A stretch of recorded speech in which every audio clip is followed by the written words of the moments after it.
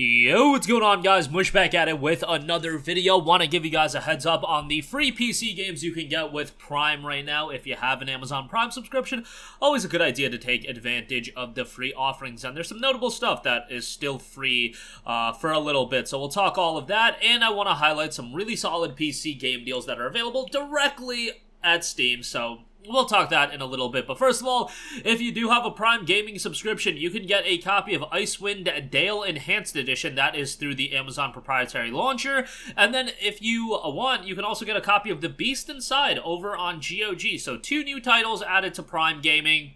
Go check them out, um, whether or not you want to consider them free. Nobody actually signs up for Prime to uh, go to Prime Gaming. At least I don't think so. That would be very uh, strange to me. But nevertheless, there is some value with Prime Gaming, and uh, you know, take advantage of that for sure. Uh, do bear in mind that Wolfenstein The New Order is still available through Prime Gaming, so definitely go add that to your library. That's a high quality game to add to your library with Prime. And there's a bunch of throwback titles, Metal Slugs in there, Last Blades in there, so some stuff to check out. Also, do remember there's in-game content in a variety of different games, like Lost Ark content for those of you that are into that, Genshin Impact content. So yeah, you can check all that out. Le uh, League of Legends, the Prime Gaming Capsules are available, Destiny 2, the Spring Showers Exotic Bundle, all of that content is available right now.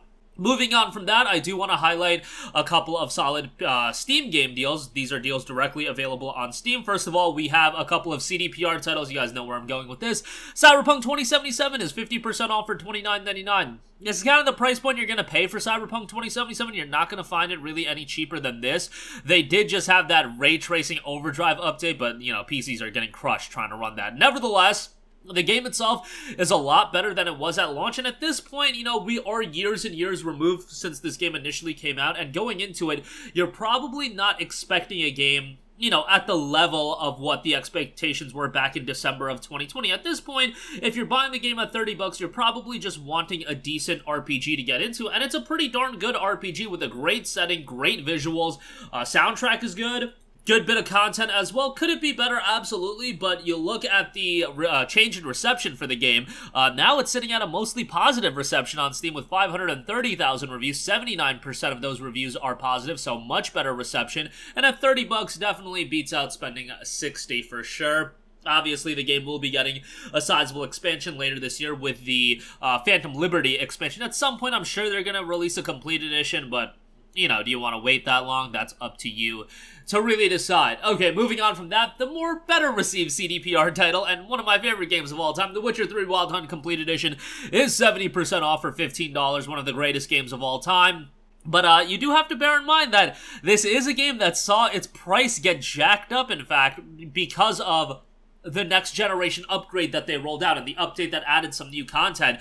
Uh, this used to go on sale for 75% off for $9.99. Now, when it does go on sale, uh, it's $15. On consoles, it's even worse. It's like 30 or $25 for the complete edition. So, kind of a bummer there, but when a game is as good as The Witcher 3 Wild Hunt is, if you have to spend a couple more dollars to get it, you spend the extra couple dollars to get it. It's a tremendous game, and I would still strongly recommend it if you don't have it. And obviously, with the complete edition, you get Blood and Wine, you get Hearts of Stone that expands the experience quite a bit definitely a no-brainer of a pickup there if you're one of the few people that don't own it yet. And lastly, do want to know Crash Bandicoot 4, it's about time, 50% off at 19.99. Why this was a act uh, a Blizz a Battle.net exclusive, excuse me, for a while, you know, that I, I, will never understand, but now it's finally available on Steam. The initial $40 price tag was a little bit too high, but at $20, you are getting a great platformer here. And I would say uh, this is the perfect price point to pick the game up for. But that is going to do it for me. Again, Prime Gaming, some quality free stuff. Icewind Dale Enhanced Edition, The Beast Inside. You can pick both of those up if you are a Prime subscriber alongside Wolfenstein The New Order that has been available for a little bit. Wolfenstein will be available for the next 19 days. Icewind Dale Beast Inside the next 30 or so days. So jump on those as soon as possible. Cyberpunk 2077, 50% off at $29.99. Good deal on that if you have yet to pick it up. You know, at this point, it's a pretty good uh, RPG, and if you're going into it with tempered expectations, I think you'll be pleasantly surprised. And Witcher 3 Wild Hunt Complete Edition, 70% off at $15. That's going to do it for me. Let me know all your thoughts in the comment section down below. As always, thanks for watching, and I will catch you guys in the next one. Peace out.